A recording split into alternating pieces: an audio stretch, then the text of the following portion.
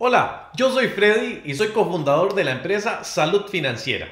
Puedes encontrarnos en nuestras redes sociales como Salud Financiera CR.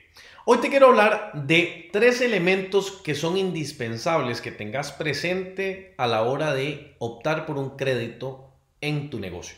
Y estos tres elementos están vinculados a tres preguntas muy sencillas, que esto te va a servir de referencia. La primera es ¿qué? Cuando digo qué es, ok, yo requiero crédito, pero ¿de qué tipo? ¿Qué tipo de crédito? Porque hay distintos tipos de crédito.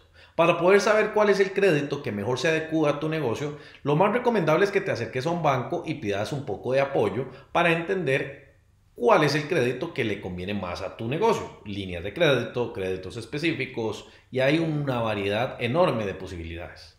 La segunda pregunta que va vinculada con esta es ¿para qué?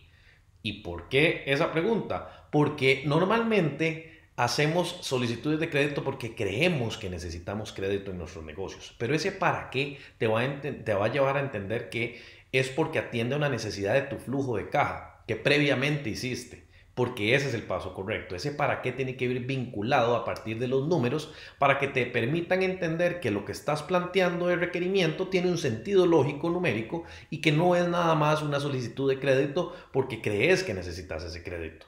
Eso es muy importante. Y la tercera pregunta es, ¿por qué?